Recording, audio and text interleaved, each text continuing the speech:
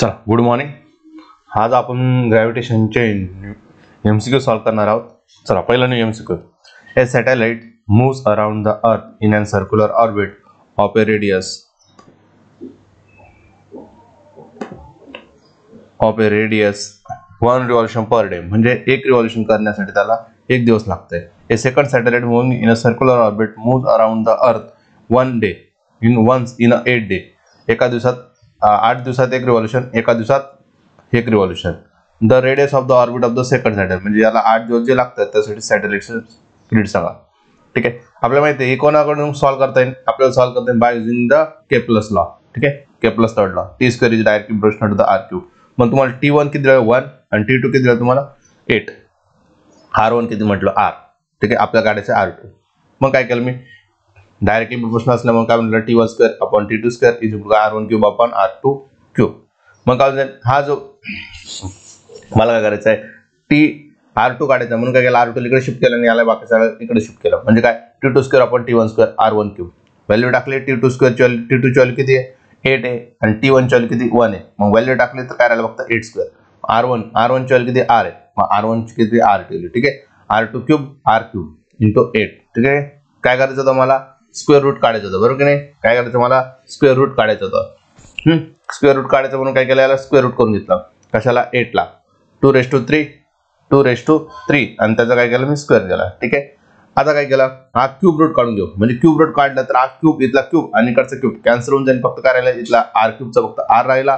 To चा फक्त to राहिला आणि त्याचा स्क्वेअर म्हणजे काय झाला? फोर फोर आर मग आन्सर काय आलं? फोर आर आन्सर काय आपलं? Four R next the diameter of the two planets are in the ratio of four is to one काय दिलंय? डायमीटर दिले four is to one and their mean density in the ratio one is to two लक्षात ठेवायचं आहे हा जो formula आहे हा फॉर्म्युला आपल्याला कसं लक्षात ठेवायला लावला तुम्हाला मी? काय सांगितलं तुम्हाला? डायमीटर्स आणि मेन रेशो आपल्याला माहिती आहे ना कशाबद्दल सांगितलं? ग्रॅव्हिटी ग्रॅव्हिटीमध्ये काय माहिती आपल्याला? हे दोघं दोघं कसे? डायरेक्टली प्रोपोर्शनल कशाला? डेन्सिटी आणि व्हॉल्यूमला कशा कशाला? डायरेक्ट प्रोपोर्शनल होते? डेन्सिटी आणि व्हॉल्यूमला डेन्सिटी आणि व्हॉल्यूम व्हॉल्यूम म्हणजेच काय? आर आपण four by three pi R cube काय असतं? कॉन्स्टंट असतं. डेन्सिटी आणि याला. मग तुमचं काय? मग बघा व्हॅल्यू टाका फक्त सबस्टिट्यूट करा. जी इज काय? डेन्सिटी आणि व्हॉल्यूम मग काय? डायरेक्टली प्रश्न म्हणून काय? Rho one R one rho one R one आणि rho one R two rho one आपण रो टू काय? वन बाय टू आहे आणि एक किती तुमचा? Two four is to one म्हणजे कॅन्सल करा एक बे वेदूने चार. म्हणजे काय? आन्सर आहे two is to one answer काय? टू एस टू वन म्हणजे काय? सी आन्सर ठीक आहे? नेक्स्टला next example if the M is the mass of the earth ठीक है? M is the mass of the earth आहे and R is the radius of the earth आहे rest of the gravitational acceleration and gravitational constant काय simple question विचार काय विचार तुम्हाला? Gravitational const gravitational gravitation म्हणजे जी बाय कॅपिटल जी मग आपल्या जवळ फॉर्म्युला आहे स्मॉल जीचा स्मॉल जी जीचा फॉर्म्युला काय? Capital G M upon R square फक्त या कॅपिटल जीला काय करा? साईडला शिफ्ट करा. कॅपिटल या साईडला शिफ्ट म्हणजे जी बाय जी म्हणजे काय एम आर म्हणजे ऑप्शन बी ऑप्शन काय भेटलं मला? Next Venus looks brighter than the other planets का बरं ब्राईटर होतो? कारण तो आपल्या काय? जवळ. आपला आपल्या काय? जवळ. म्हणून आपला काय दिसतो? ब्राईट दिसतो. ठीक. आपला काय दिसतो? ब्राईट दिसतो. का? कारण की तो आपल्या जवळ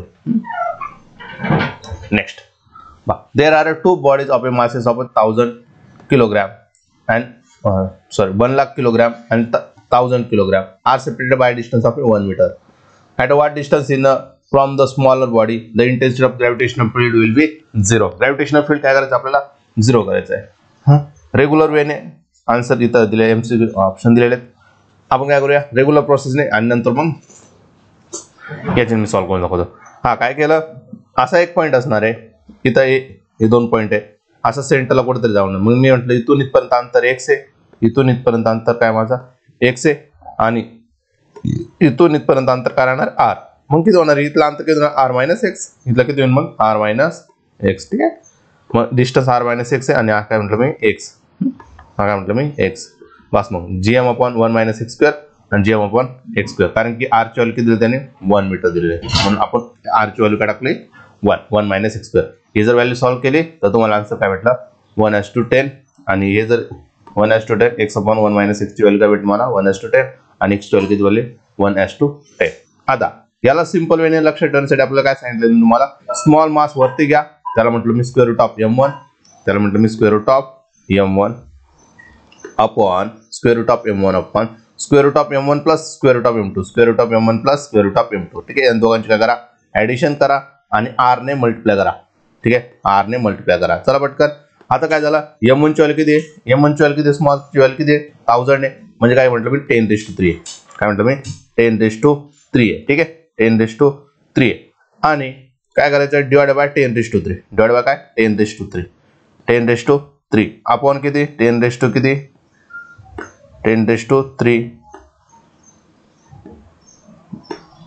plus आता किती करायचं आपल्याला किती one two three four five ten raise to five किती ten raise to five ten raise to five आता काय करा डायरेक्ट तुम्ही काय करा ten raise to three common काढून घ्या काय करून घ्या ten raise to three common काढून घ्या ten raise to three common काढला हा टेन रेस टू थ्री इथला गेला इथं टेन रेस टू थ्री गेला म्हणजे काय राहिला फक्त वन राहिला हा इथं किती राहिला मग इथं काय टेन रेस टू फाईव्ह होता ना इथे वन सिक्स आहे इथं किती आहे सिक्स आहे टेन रेस टू थ्री गेला म्हणजे किती राहिला तुमचा थ्री राहिला ठीक आहे किती राहिला तुमचा थ्री बरोबर आहे का हंड्रेड हंड्रेड म्हणजे ten raise to two ten raise to three ten raise to four ten raise to five five राहतं म्हणजे काय राहिला तुमचा इथं टू राहिला इथं काय राहिला मग तुमचा टू राहिलेला आहे हां? आणि तो टेन रेस टू थ्री आणि टेन रेस टू थ्री मधून करायला व टेन रेस टू थ्री काय झालं? टेन रेस टू थ्री काय झालं? एकूण टेन रेस टू थ्री काय राहिला वन आणि टेन रेस टू स्क्वेअरचा बाहेर आला तो झाला तुमचा टेन म्हणजे काय? वन प्लस टेन की झाला? इलेवन म्हणजे आन्सर काय झाला? वन एस टू इलेवन म्हणजे ऑप्शन काय? थ्री ऑप्शन काय तुमचा? Three next force gravity is a least of कुठं फोर्सची ग्रॅव्हिटी लिस्ट असणार आहे? आपल्याला माहिती आहे ग्रॅव्हिटेशनल ऍक्सलरेशन कुठे जास्त असतं? फोर्सवर ग्रॅव्हिटेशन ऍक्सलरेशन जी ची व्हॅल्यू कुठं मॅक्झिमम असते? पोलवर हा? कुठं मॅक्झिमम असते? फोलवर ग्रॅव्हिटेशन ऍक्सरेशन कुठं मिनिमम असते? इक्वेटरवर मग आपल्याला काय प्रॉब्लेम आहे? कुठं सांगितलं? लिस्ट म्हणजे काय कमी? मग कुठं असणार आहे? इक्वेटरवर म्हणून आन्सर काय? इक्वेटर कुठे आन्सर इक्वेटर ए ऑप्शन ठीक आहे? Next the period of a planet around the sun is twenty seven times of the earth आता काय दिलंय? टाइम पिरियड दिलेलं आहे the ratio of the radius of the planet of the radius of the earth ठीक आहे? Simple question आहे. परतोच केपलचेच केपलरचेच law use करावा लागेल. केपलरचा लॉ डायरेक्टली प्रोफेशनल फक्त काय दिलंय? प्लॅनेटचं तुम्हाला twenty seven times of earth दिलेलं आहे बस तेवढं फक्त व्हॅल्यू टाका. आठ कॅन्सल होऊन जाईल. ठीक आहे? आठ ट्वेंटी सेवन इकडे शिफ्ट करा. मग R P upon R B भेटणं मला आर पीचं विचारतो म्हणून. काय भेटणार nine times of R E nine times of R E म्हणजे option B next an object of a weights of a 72 newtons on the earth. Its weight at an of r by 2 regular process नंतर आपण tricks घेणार आहे. काय काय दिले 72 मग काय सांगितलं तुम्हाला? हा फॉर्म्युला तुम्हाला माहिती आहे सगळ्यांना. G dash is equal G upon R upon R plus H brackets ठीक आहे?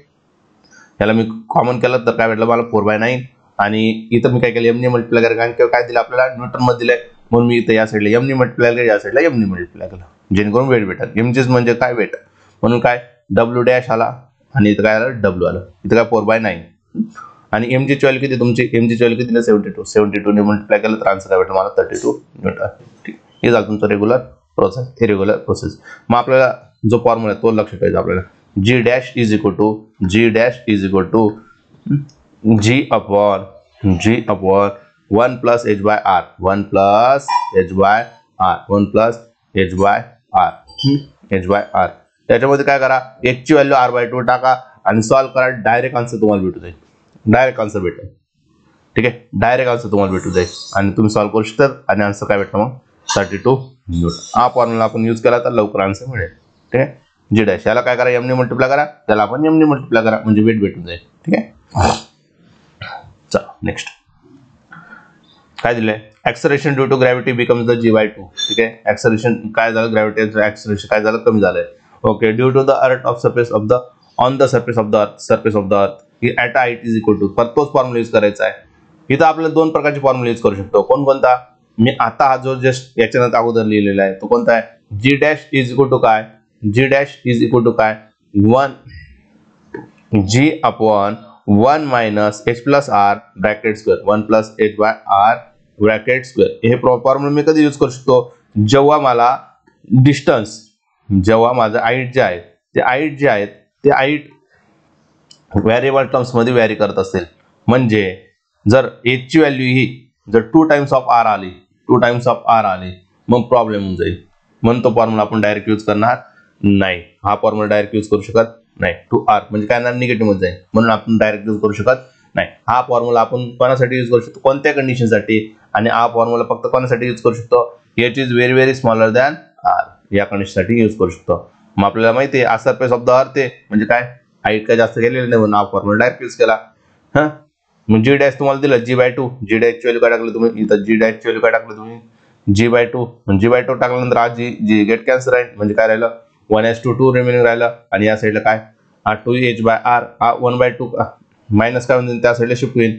आन्सर जर सॉल्व्ह केला तर ॲक्च्युअली काय भेटेल मला आर बाय फोर ॲक्च्युअली काय भेटेल मला आर बाय फोर म्हणजे B option next imagine of light of a planet revolving around the very massive star in and circular orbit लक्षात असू द्या. हा क्वेश्चन फिरवलेला आहे. काय सांगितलं imagine the light planet revolving around the very massive star in a circular orbit circular orbit म्हणजे काय? सेंटीमीटर फोर्स म्हणून इथे घेतलं मी सेंटीमीटर फोर्स ठीक आहे? Centimetre force with a period of a revolution time period if the gravitational force of attraction between the planet and the star is proportional to the r is to minus pi by 2 आतापर्यंत आपण जे काय घेत होतो capital G M M आपण R square R स्क्वेअरच्या ऐवजी काय घ्यायला लावलं त्यांनी? फाय बाय टू मायनस दिलेला याचा अर्थ काय? रेसिप्रोकलला म्हणून काय घेतलं की मी या पद्धतीने लिहिलं. ठीक आहे? आणि काय सांगितलं त्यांनी? Then the correct relation is काय विचारलं? टाइम पिरियडचं करेक्ट रिलेशन आपल्याला माहिती आहे टी इज काय असतं? टू पाय आर बाय मी टी इज काय असतं? टू पाय आर बाय मी मग आपल्याला काय करून घालून या इक्वेशन मधून व्ही काढावं लागेल. मग बी काढायचं म्हणजे काय? एम आणि आर इकडं काय मल्टिप्लायला इकडे त्यांनी काय डिवाइडला म्हणजे काय भेटलं मला? बी स्क्वेअर इज काय? K M R square raise to three by two ठीक आहे? आता मला स्क्वेअर रूट काढायचं आहे. म्हणजे स्क्वेअर स्क्वेअर आहे. म्हणजे व्ही काढायचं म्हणजे, म्हणजे काय केलं स्क्वेअर रूट म्हणजे काय केलं? Taking square root which value काय भेटलं मला? M R three by two one ठीक आहे? आपला काय करायचं आता? याला मी स्क्वेअर करायचं कारण की आपल्याला रिलेशन द्यायचं टी स्क्वेअरमध्ये. म्हणून काय याला टी स्क्वेअर केलं. टी स्क्वेअर केलं काय भेटलं? मला four pi square M by two K R S two seven by two R S two seven by two म्हणजे हा रिलेशन बरोबर आहे. नेक्स्ट आता बघा. काय दिलंय? Symmetrical body of a gravitational system of a particle as a mass of a density हो ठीक आहे? Mass test mass can undergo the circular motion under the influence of the of field particle is its speed please option बघा हे तुम्हाला graph दिलं या graph पैकी कोणता असा आहे? आता व्यवस्थित समजून घ्या ग्राफ मी काय म्हटलं कोणती बॉडी आहे? सिमेट्रिकल ग्रॅव्हिटेशनल ठीक आहे? ग्रॅव्हिटी ग्रॅव्हिटेशनल म्हणजे काय? सॉलिड स्पेअर आहे. ग्रॅव्हिटेशनल म्हटलं काय? सॉलिड स्पेअर आहे. सॉलिड असल्यावर सेंटरला ग्रॅव्हिटेशनल फील्ड प्रेझेंट असते का? नाही. इथं प्रेझेंट असेल का? नाही. ऑलो असेल तर प्रेझेंट राहणार नाही. पण सॉलिड आलं तर तिथं प्रेझेंट राहील. मग इथून मी जर जसं बाहेर बाहेर चाललो तसंच माझं मास करणार इन्क्रीमेंट होणार. आहे तसंच माझं काय मास होणार आहे इन्क्रीमेंट होणार. आहे ठीक आहे? चल. आता मग काय म्हटलं? सेंटरला एक्झॅक्टली सेंटरला सेंटरला ग्रॅव्हिटेशनल फील्ड मला काय भेटणार आहे? झिरो भेटेल ठीक आहे? ग्रॅव्हिटेशनल फील्ड काय भेटणार? झिरो भेटेल त्याच्यानंतर वा फॉर्म्युले बा मी R is less than R ठीक आहे? R is less than capital R ठीक आहे? मग काय म्हटलं मी? सर्क्युलर ऑर्बिटमध्ये त्यांना फिरायचं आहे. कारण की सर्क्युलर ऑर्बिटमध्ये फिरायचं आहे. म्हणून काय म्हटलं मी? Circular motion M square upon R जे M M dash upon R square ठीक आहे? इथला आर गेट कॅन्सर इकडचा एक आर गेट कॅन्सर आता काय केलं मी? एम डॅशची व्हॅल्यू काय टाकली आता. डेन्सिटी कारण की त्यांनी काय दिले? डेन्सिटी दिली बघा. रो झिरो म्हणून काय केलं मी? डेन्सिटी व्हॅल्यू टाकलं. रो झिरो का? कारण की रेडियस त्यापेक्षा लहान. तेव्हा डेन्सिटी काय होती? तुमची रो झिरो होती. म्हणून ती व्हॅल्यू टाकली. रो झिरो तेव्हा लक्षात आलं we directly proportional to the R म्हणजे काय येणार इन्क्रीमेंट असा ग्राफ येणार आहे. ठीक आहे? नेक्स्ट नेक्स्ट केसमध्ये काय सांगितलं त्यांनी? R is less than R small R जो आहे तो ग्रेटर दॅन आर आहे. म्हणजे तू बाहेर जाणार आहे. जसं आहे तो बाहेर आउटसाईड जाईल. आउटसाईड असेल तर मी पूर्णपणे मास कुठं कन्सिडर करतो ऍट अ सेंटरला कुठं कन्सिडर करतो ऍट अ सेंटरला पण ऍट अ सेंटरला जर कन्सिडर केलं तर मला माहिती आहे तो बाहेर आहे. म्हणजे काय होणार तो? ग्रॅव्हिटेशन ऍक्सलेशन काय असणार? इनव्हर्सली प्रोपोर्शनल असणार आहे. म्हणून काय? इनवर्सली प्रोपोर्शनल बघा. एम स्क्वेअर अपॉन आर जे M M upon four by three pi R cube कारण की मी कुठं कन्सिडर केलं? ऍट अ सेंटरला सेंटरची डेन्सिटी किती आहे? रो झिरो आहे. सेंटरला कसं म्हणून रो झिरो. ठीक आहे? हा आर क्यूब ठीक आहे? आणि हा जो रेडियस आहे मग मला तो रेडियस पण कसं घ्यावा लागेल? स्मॉल आरचाच घ्यावा लागेल. ठीक आहे?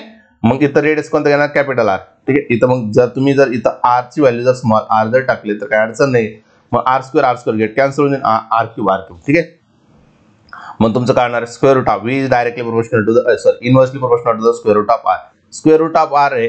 स्क्वेअर रूट म्हटल्यानंतर ग्राफ कसा येणार? असा स्कर पार्ट म्हणून म्हणून कसा पहिले इन्क्रीमेंटमध्ये होता. इथला ग्राफ कसा येणार? कर आणि R R is equal to R small R is equal to capital R तर आम्हाला कसं भेटणार आहे? वेलॉसिटी मॅक्झिमम भेटणार आहे. कशी भेटणार आहे मला? मॅक्झिमम भेटणार आहे. मॅक्झिमम जर भेटत असेल मला जर मॅक्झिमम भेटले ही मला मॅक्झिमम ही ग्राफ माझं आन्सर असेल. ठीक आहे? नेक्स्ट वा. The spherical planet of a out of a space as a mass m0 and the diameter d0 particle of a mass is ठीक आहे? काय विचारलं तुम्हाला? पार्टिकलचा मास विचारलेलं ठीक आहे? चला. हे पार्टिकल स्मॉल जी स्मॉल जीचा फॉर्म्युला काय capital G M upon R square पण आरची व्हॅल्यू काय सांगितली त्यांनी? आरची व्हॅल्यू काय घ्या? आरची value in terms of D घ्या. मग डी काय असतं? डायमीटर डायमीटर काय असतं? तो रेडियसच्या डायमीटरच्या हाफ असतो. म्हणून D zero by two bracket square ठीक आहे? मग डी झिरो स्क्वेअर आणि टूचा स्क्वेअर केला काय झाला? फोर फोरवरती आला. मग आन्सर काय आलं बघा? Four G M zero D zero square म्हणजे ऑप्शन काय? सी नेक्स्ट परत तसं क्वेश्चन आलं बघा. Two bodies of a mass two kilogram आणि eight kilogram are separated by distance of a nine metre the point where the resultant gravitational field intensity is zero म्हणजे काय? Square root of M one small upon addition of both addition of both square root of M one plus square root of M two into R R value किती तुम्हाला दिली M one plus square root of M two ठीक आहे? Square root of M two into काय तुमचं R ठीक आहे? हा फॉर्म्युला यूज करा किंवा जी एम अपॉन आर स्क्वेअरचा फॉर्म्युला यूज करा. ठीक आहे? बा एम वन चॉल किती दिले तुम्हाला? टू एम वन चॉल किती दिले तुम्हाला? एम वन चॉल दिले तुम्हाला square root of two M one chawl काय दिले तुम्हाला? स्क्वेअर रूट ऑफ टू दिलेले. आणि एम वन चॉल किती? Square root of two M two chawl काय? एम टू व्हॅल्यू किती दिले तुम्हाला? स्क्वेअर रूट ऑफ टू आणि एम टू व्हॅल्यू काय दिलं? Square root of eight M two आणि स्क्वेअर रूट ऑफ काय दिलं? एट दिलं. आणि ए किती तुमचं? नाईन हे किती तुमचं? नाईन हां? मग काय? इथून square root of two common काढा. इथून square root of two common काढा. ठीक आहे? रिमेन करायला तर फोर राहिला. इथं करायला तुमचा फोर राहिला. मग फोरने मल्टिप्लाय करा. फोर राहिला. फोर म्हणजे बाहेर येताना टू झाला. म्हणजे काय? One plus three one plus three one plus three one plus three म्हणजे काय? थ्री थ्री आला. थ्री तीन थ्री जा. नाही म्हणजे किती आन्सर आला? थ्री म्हणजे एक डिस्टन्स थ्री आहे एक डिस्टन्स सिक्स आहे. एक डिस्टन्स थ्री आहे आणि एक डिस्टन्स कारण की हा थ्री आहे तर इकडचं अल्टिमेटली डिस्टन्स किती होऊन जाईल? सिक्स होणार आहे. ठीक आहे? मग सिक्स आता मग तो सिक्स मीटर टू किलोग्रामपासून आहे का एट किलोग्रामपासून आहे? सिक्स किलोमीटर जो आहे सिक्स मीटर जो आहे तो लॉंग एका जवळ आहे? तर कसं लक्षात ठेवायचं त्याला? त्याला लक्षात ठेवायचं आपल्याला जेवढा लांब डिस्टन्स तेवढा जास्त मास त्याच्याकडे मॅस जास्त शिफ्ट होणार आहे ठीक आहे? म्हणून काय केलं? Six metre from eight kilogram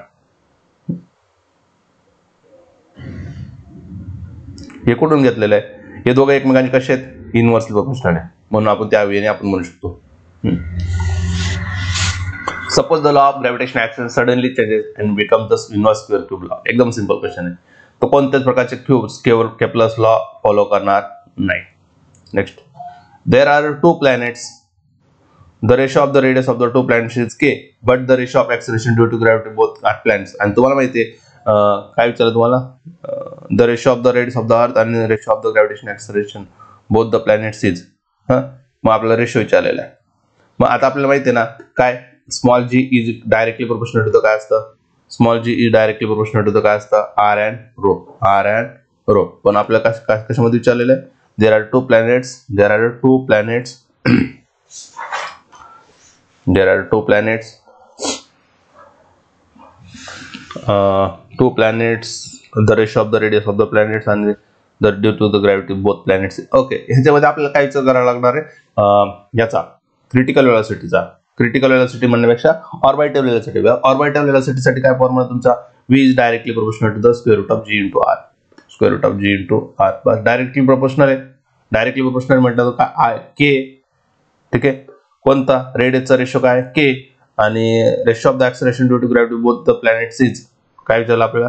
gravitation ऍक्सलेशनबद्दल विचारलं व्ही इज इक्वल काय? Square root of G R V is equal काय? Square root of two G R मग V one upon V two G one upon G R मग R one upon R two value काय दिली तुम्हाला? R one upon R two value काय दिली? के ठीक आहे? आणि जे जी आणि यांच्यावरती काय?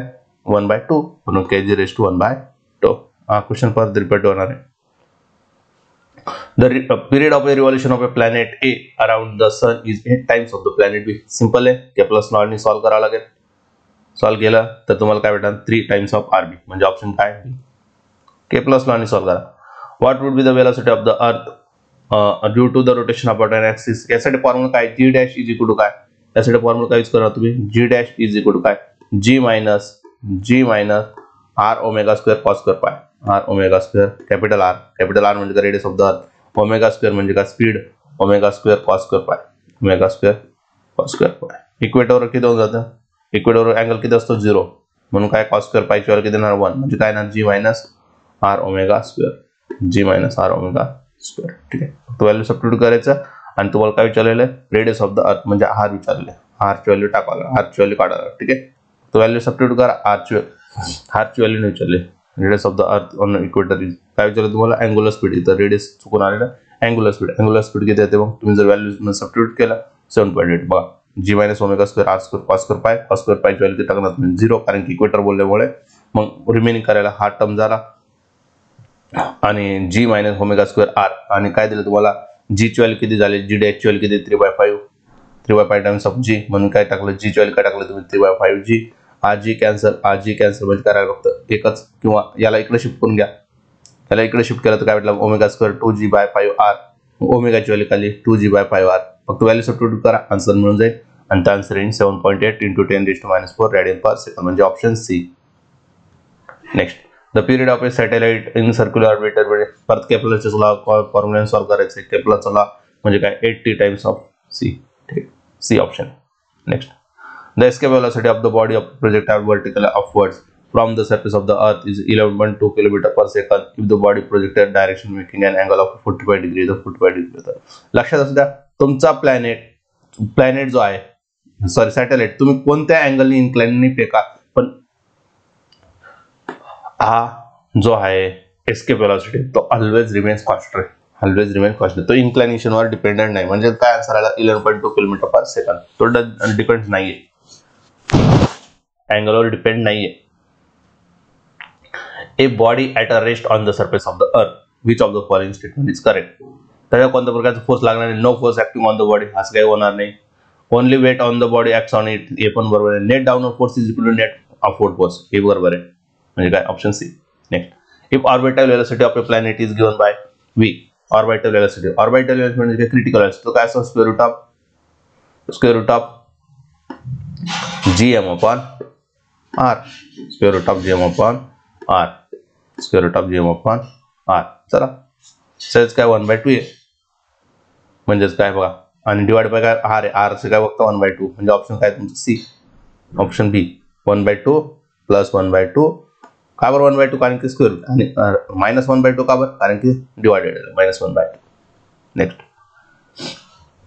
the escape velocity of a body of a earth surface V E ठीक आहे? अर्थ सर्फेस जे अर्थ सर्फेसवर आहे एस्केप वेलोसिटी ती किती आहे तुमची? व्हीई हा. त्याच्यानंतर काय? A body is thrown off at off square root of five times of V E एवढ्या स्पीडमध्ये म्हणजे एक्स्ट्रा स्पीडमध्ये as you that the sun planet do not influence the motion of the body velocity of the body at infinite distance is काय करावं मला? सरळ सरळ subtraction करावं लागेल. V square upon minus V square व्हीची value किती? Square root of five times of V त्याचा square केला आणि व्ही स्क्वेअर म्हणजे काय राहिला? फोर फोर राहिला फोरच्या स्क्वेअर रूटमध्ये बाहेर आला तो काय टू ई काय आन्सर आला square root of two E म्हणजे काय? डी ऑप्शन कारण की एक्स्ट्रा वेलोसिटीने आपण फेकलं त्याला फक्त किती लागत होतं? वी पण square root of five times of व्हीने फेकलं मग त्याचा स्क्वेअर मायनस स्क्वेअर हे रिझल्टंट आहे. Next a point of a mass place inside the thin spherical shell thin आहे स्पेरिकल शेल आहे. शेल आहे स्पेरिकल आहे. शेल म्हटल्यानंतर काय? ऑलो शेल म्हटल्यानंतर काय? ऑलो लक्षात असू द्या. शेल म्हटल्यानंतर काय? Hollow of a radius of R and mass M at distance of r by 2 from the center of the earth. The gravitational force exerted by the shell on the point mass is काय असणार आहे? Always zero किती असतं zero असतं. Centre मधून कुठे एकदा. Follow असेल तर काय होणार आहे? झिरो होणार आहे. Next a solid sphere of density draw the field distance of R centre of the sphere at where R is याला फॉर्म्युला आम्ही आपल्याला सॉल्व्ह करायला लागणार आहे. कारण की ह्याच्यामध्ये जर सॉलिड घेतला तर त्याचा ग्रॅव्हिटेशन फील्ड झिरो होतो का? नाही व्हेरिएबल असतो तो. मग आपण इथं काय करणार? एमची व्हॅल्यू इथं तुम्ही काय करणार? इथं जो तुमचा एम एमची व्हॅल्यू काय टाकणार तुम्ही? Four by three pi R cube into density तो जर सॉल्व्ह केला तर काय आन्सर तर four pi capital G rho R answer काय आहे तुमचा? D next next there are two planets the ratio of the radius of the two planets K तर तोच क्वेश्चन आहे. काय K G by one by two question आलेला होता. Out of the following is only correct statement about the satellite is. So satellite cannot move in a stable orbit. Plane passing through the earth center ठीक आहे? Satellite cannot move in a stable orbit. कोणत्या stable orbit मध्ये फिरू शकत नाही? एका statement जरा false ठीक आहे? Geostationary satellite launch in the equator हे स्टेटमेंट आहे ट्रू म्हणजे बी ऑप्शन बघायची पण घ्यायची. नेक्स्ट क्वेश्चन बघण्याची पण गरज नाही. कारण की जिओ स्टेशनरी सॅटेलाइट कुठे ठेवतात तुम्ही? इक्वेटोरियल प्लेनमध्ये ठेवतात. पोलार सॅटेलाइट कुठे ठेवतात तुम्ही? पोलवर ठेवतात. ठीक आहे? त्याचा पिरियड्स किती आहे तुमचा? Twenty four hours in equatorial म्हणजे जिओ स्टेशनरी म्हणून जिओ सिंक्रोनस म्हटलं जातं त्याला. नंतर टीप of planet consist of a satellite whose mass is M and radius R ठीक आहे? काय दिलं तुम्हाला? Satellite whose mass M and radius where both are up त्यांचं काय केलं? रेडियस आप केलं आणि मास पण आप केलं. तर acceleration due to gravity on the surface of the earth is small sub formula G G जुडका कॅपिटल जी याची व्हॅल्यू काय केली? आप केली आणि याची व्हॅल्यू काय केली? तुम्ही ऑफ केली. म्हणजे इथं काय होणार? वन बाय फोर होऊन जाईल. आणि हा काय वन बाय टू होऊन जाईल. हा फोर वरती जाईल. म्हणजे काय होणार आहे? टू ने मल्टिप्लाय करा फक्त टू ने मल्टिप्लाय करा नाईन पॉईंट एटला टूला मल्टिप्लाय करा नाईन पॉईंट एटला नाईन पॉईंट सिक्स मीटरपासून म्हणजे काय? ऑप्शन सी कॅल्क्युलेशन तुम्हाला डायरेक्ट जमले पाहिजे. प्रत्येक वेळेस टाकण्याची गरज नाहीये. Escape velocity of the particle of a mass is काय असतं? काय विचारलं? मास तो डिपेंड आहे का मासवर नाही. म्हणून काय? M raise to zero C C option असेल. एमरेज टू झिरो कारण की square root of two G R आता कोणी म्हणतेस नाही सर आपला फॉर्म्युला काय square root of G M upon two G M upon R पण तो मास ऑफ द अर्थ आहे. पण आपल्याला विचारायला पार्टिकलचा मास म्हणून काय? स्मॉल एम स्मॉलवर आहे का तो? नाही नेक्स्ट काय? The mass of a diameter of a planet is twice the work per तोच फॉर्म्युला काय यूज करायचा आपल्याला? केपलस लॉ पण इथं महत्वाचं आहे E P second pendulum second pendulum म्हणून यूज करायचं आपलं काय यूज करायचं आहे? सेकंड पेंडुलम ठीक आहे? हा. जी, जुड काय G M upon R square earth साठी म्हणून काय? ए कॅपिटल जी कॉन्स्टंट आहे मास ऑफ़ द अर्थ आणि मास ऑफ़ द प्लॅनेट ह्याच्यावरून काय काढलं मला? G by two two S two one ठीक आहे? आपल्याला माहिती आहे टी काय असतं? टी काय असतं? टी काय असतं two pi by two pi under square root of L by G two pi under square root of L by G under square root of L by G आता आपल्याला माहिती आहे ना, काय दिलं? सेकंड फ्रीडम म्हणजे two cancel or two cancel ठीक आहे? हा पाय. मग काय झालं? टी इज इन्व्हर्सली प्रश्न to the square root of G बस एवढं बघतो काय व्हॅल्यू काय आपला जी आपण जीपी मग जीपी आपण जी काय जाईल वन एस टू टू बस टाकली व्हॅल्यू ठीक आहे? सेकंड फ्रेंड म्हणून टू सेकंड आणि टीपीने इकडे मल्टिप्लाय केलं तर आन्सर भेटेल मला two root two second next a planet revolves around the sun in an electric orbit the linear speed of a planet will be maximum at जेवढा जवळ असतो तेवढा तो जोरात पळतो. जेवढा जवळ म्हणजे ए पॉईंट जोरात पळणार आहे सी पॉईंट अळू पळणार आहे काय the linear speed of a planet is maximum at point A ठीक आहे? एला जोरात पडणार. जेवढं जवळ तेवढं जोरात. चला. आता आपण बघणार आहे असर्शन रिझनिंग टाईपचे क्वेश्चन्स ठीक आहे? बा a planet move faster when it is close to the sun in the orbit of the काय झालं तुमचं? ट्रू झालं. The orbital on the of the planet is constant हे पण काय तुमचं? ए इज गुड काय कॉन्स्टंट हे पण काय ट्रू आहे? म्हणजे काय झालं? सॉरी सॉरी कसं काय क्वेश्चन विचारलं बघा. Orbital velocity in the orbit of a planet is constant मग orbital velocity in the orbital of a planet is constant जर सर्क्युलर ऑर्बिटमध्ये असता सर्क्युलर ऑर्बिटमध्ये असता एव्ही कॉन्स्टंट आहे. एव्ही काय तुमचा? कॉन्स्टंट आहे. दोन मिनटं. Orbital velocity orbital velocity in the orbit of the planet is constant orbital velocity म्हणजे V C V C to square root of gm upon R square root of gm upon R प्रत्येक ऑर्बिटमध्ये R आरचं distance जर fix केलं तर. प्रत्येक ऑर्बिटलची काय असणार? स्पीड कॉन्स्टंट असणार आहे. प्रत्येक orbital orbital velocity in the orbit of the planet is constant म्हणजे हे दोन चुकून झालेले आहे स्टेटमेंट सी होणारच नाही. स्टेटमेंट वन ट्रू आहे. स्टेटमेंट टू पण ट्रू आहे. म्हणजे काय? एव्ही कॉन्स्टंट असतं ना? एव्ही काय राहतं तुमचं? कॉन्स्टंट असतं. एव्ही काय राहतं तुमचं? कॉन्स्टंट असतं. मग एव्ही जर कॉन्स्टंट असेल तर आन्सर काय भेटेल मला ट्रू म्हणजे काय असणार आहे? चुकून झालेला आन्सर हा ए आन्सर आहे. ठीक आहे? हा रॉंग आहे. हा चुकून टाईप झालेला आहे. Next if the earth suddenly stop rotating about an axis then the value of the acceleration due to gravity becomes same at all places. ठीक आहे? कुठं रोटेट होतं? फोल्स अराउंड द फोल्स अर्थ कसं रोटेट अराउंड द फोल्स ठीक आहे? मग फोल्सवर काही इफेक्ट करणार का? नाही. म्हणून काय सेम राहील? म्हणून काय झालं? टी कुठं फरक पडणार आहे? इक्वेटर परिणाम म्हणजे, म्हणजे हा झाला statement two the value of acceleration due to gravity independent of the rotation म्हणजे हा इंडिपेंडंट राहणार आहे ना? अल्टिट्यूड वर तुमचा चेंज होणार आहे. अल्टिट्यूड वर तुमचा चेंज होणार आहे. बरोबर की नाही? अल्टिट्यूड वर तुमचा चेंज होणार आहे. अल्टिट्यूड म्हणजे इक्वेटरवर तुमचा चेंज होणार आहे. फोल्सवर चेंज होणार आहे का? नाही. मग काय सांगितलं त्याने? The value of acceleration due to gravity is independent of the rotation of the earth असं होतं का? इक्वेटर चेंज होणार आहे यस इक्वेटर चेंज आहे म्हणजे असं डायरेक्ट म्हणता येणार नाही इंडिपेंडेंट पूर्ण ग्रॅव्हिटेशन ऍक्सलेशन म्हणून हा स्टेटमेंट काऊन जाईल तुमचा फॉल्स बनेल. हा स्टेटमेंट काऊन जाईल फॉल्स बनेल. म्हणजे स्टेटमेंट टू इज़ ट्रू आणि हा फॉल्स आहे. म्हणजे स्टेटमेंट टू ठीक आहे? हा तुमचा क्वेश्चन हे आन्सर बरोबर next earth has an atmosphere but moon has does not okay हे स्टेटमेंट काय? ट्रू आहे. Moon is a very small in comparison to earth moon खूप छोटा आहे. हे स्टेटमेंट त्यांनी दिलेलं आहे. ठीक आहे? आता लक्षात द्यायचं आहे. काय? मून करत छोटा आहे का? येस मून छोटा आहे. आता याच्याकडे ॲटमॉस्फिअर का नाही? मूनकडे ॲटमॉस्फिअर का नाही? कारण मूनवरचे जे पार्टिकल्स आहे त्यांचे आर एम एस स्पीड जे आहे ते एस्केप वेलासिटीपेक्षा कसं आहे? स्मॉल ग्रेटर असतात. म्हणून तिथे ॲटमॉस्फिअर क्रिएट होणार नाही. पण इथं दिले दोनचे दोन स्टेटमेंट काय ट्रू आहे? हे जर स्टेटमेंट या पद्धतीने आलं असतं तर तुम्ही काय म्हटलं असतं statement one correct for statement two पण स्टेटमेंट वनशी एकमेकाशी रिलेशन नाहीये. म्हणजेच काय? Option B statement true statement true is not correct explanation statement one B next if a pendulum suspended in a lift and lift is falling freely ठीक आहे? And it's become period become the infinite okay बरोबर आहे.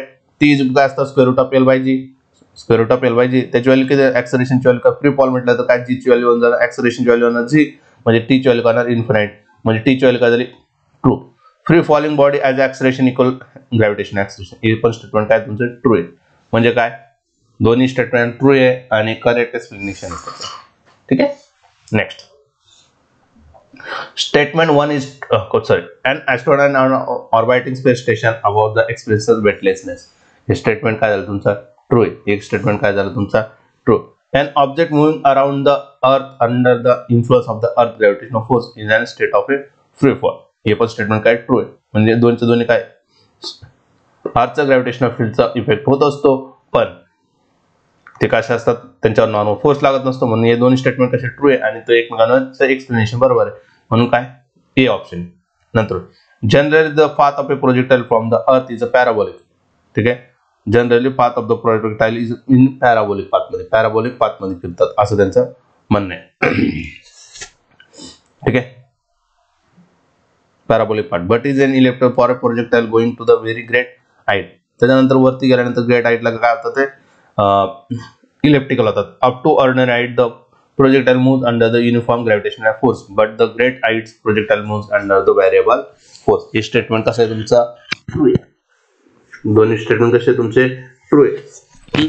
जसं वरती जातो तसं force कसा होतो? व्हॅरिएबल होतो. म्हणून कसं होतं? रोटेशन तुमचा इलेप्टिकल बनून जातं. म्हणजे स्टेटमेंट वन आणि स्टेटमेंट टू कसे तुमचे ट्रू आहे आणि त्याचं एक्सप्लेनेशन पण बरोबर ठीक नंतर the speed of a the speed of a satellite always remains constant always remains constant the speed of a satellite always remains constant possible आहे का? ऑलवेज रिमेन्स कॉन्स्टंट एकाच ऑर्बिटमध्ये जर दुसऱ्या ऑर्बिटमध्ये गेलं तर स्पीड काढणार व्हॅरी करणार आहे. म्हणजे हे स्टेटमेंट काय झालं? तुमचा फॉल्स मग आता एकच स्टेटमेंट असं. जो ट्रू अँड तरी क्वेश्चन वाचून घेऊ. The speed of a satellite depends on its path बरोबर आहे? वेगळा पाथ वेगळ्या ऑर्बिटमध्ये गेला तर तो स्पीड काय होतं? चेंज करतो. म्हणजे ऑप्शन काय? डी नंतर the difference in the value of the acceleration due to gravity acceleration due to gravity fall and equator is proportional to the square root of angular velocity. Formula काय तुमचा? G is equal काय? G dash is equal काय? G dash is equal to काय असतं? G minus R omega square R omega square R omega g minus R omega square ठीक आहे g minus R omega square cos square pi R omega square cos square pi R omega square cos square pi काय सांगितलं त्याने? Angular वेलॉसिटीचं काय square आहे? Angular वेलॉसिटीचं काय square हे statement काय ट्रू आहे? ठीक आहे? The value of acceleration minimum at the equator and maximum at the pole बरोबर आहे? कारण की कॉस स्क्वेअरच्या वेळी आपण झिरो जर टाकलं तर काय होणार आहे? इक्वेटरला जाणार आहे. नाईन्टी टाकलं तर काय होणार फोलवर जाणार आहे. मग याच्यानुसार ग्रॅव्हिटेशन ॲक्सरेशन काय होणार आहे? जे मॅक्झिमम आणि मिनिमम सापडणार आपल्याला. दोन्ही statement true and false sorry true true आहे आणि करेक्ट एक्सप्लेनेशन आहे. म्हणून काय झालं? स्टेटमेंट वाय ठीक आहे? Two different planets have the same escape velocity दोघांकडे same escape well of the escape velocity of is a universal a universal universal escape आहे असं म्हणणं आहे. The two different planets of the same escape प्रत्येकाचे escape कशी असते different असते planet planet to planet कारण की मास कसा असतो? डिफरंट असतो. रेडियस कसं असतं? डिफरंट असतं. मास आणि रेडियस डिफरंट असेल तर तुमचं एस काम जाईल बदलून जाईल. Next two satellite are following another in the same circular orbit if one satellite tries to catch another satellite then it can be done increasing speed without changing its orbit असं increasing करता येत नाही. म्हणजे हाच काय झाला? Fall झाला. आणि नंतर काय? मग हा कालचं काय? ट्रूच असणार आहे.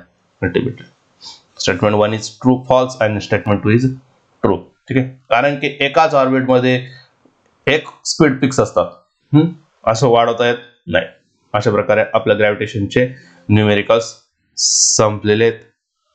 ठीक आहे? हे व्हिडिओ बघित बघाय बघता बघितलं बघून जर झालं तर परत एकदा तुम्ही थिअरी पार्ट कंप्लीट करशाल आणि कंप्लीट करून